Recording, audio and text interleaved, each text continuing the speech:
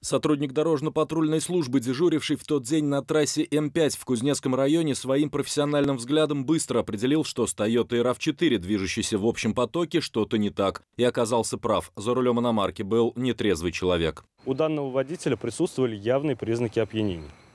Водителю было предложено пройти в патрульный автомобиль для проведения освидетельствования на состояние алкогольного опьянения.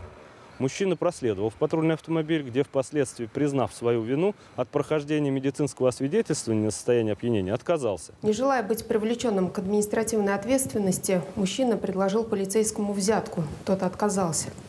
Несмотря на это, злоумышленник, находясь в салоне патрульной автомашины, попытался передать командиру отделения ДПС взятку в размере 100 тысяч рублей за заведомо незаконные действия, уничтожение составленного административного протокола. Горе-водителю ровно 30 лет, но зрелый возраст не защитил его от необдуманного шага. Будучи предупрежденным, причем несколько раз о серьезной ответственности, он все равно достал деньги и положил их перед инспектором. Оттуда их и изъяла следственная оперативная группа, которую вызвали на место. Теперь мужчина точно останется без прав и также сильно рискует остаться без свободы.